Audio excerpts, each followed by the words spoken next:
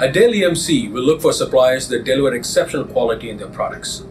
Toshiba has been working with Dell EMC for 20 years on hard drives and more recently with SSDs. Our customers require the utmost in storage reliability for their data centers, and we rely on Toshiba to provide hard drives and SSDs to handle their demanding workloads.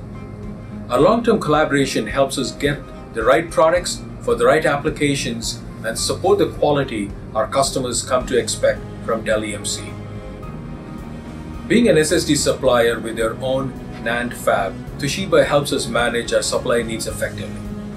Their responsiveness and support helps us bring solutions to market quickly and deliver quality solutions through a broad storage portfolio of hard drives and SSDs. Our customers can count on Dell EMC to bring innovative storage solutions to their most pressing business needs. The Dell EMC PowerEdge FX2 enclosure is a 2U hybrid rack mount computing platform that combines the flexibility, density, and efficiencies of blade server technology with the simplicity and cost benefits of rack-based systems. The FX architecture's innovative modular design supports IT resource building blocks of varying sizes so data centers have greater flexibility to construct their infrastructures.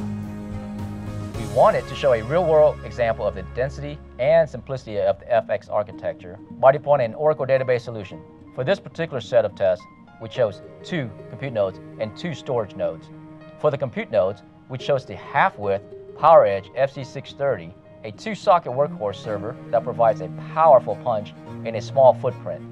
These compute nodes are powered by the latest generation Intel Xeon E5 2600 V4 processors with up to 1.5 terabytes of memory in 24 DIMM sockets, dual port 10 gigabit networking, and four PCI Express expansion slots.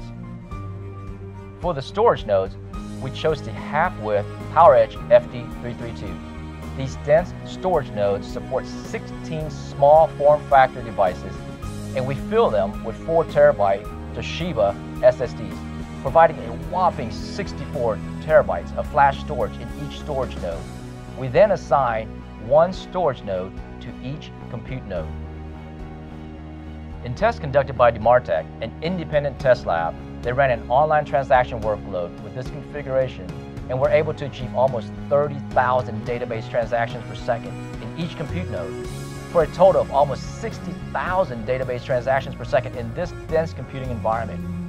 All of this was achieved while maintaining sub-millisecond average response time on the database writes and less than 400 microseconds average response time on the database reads.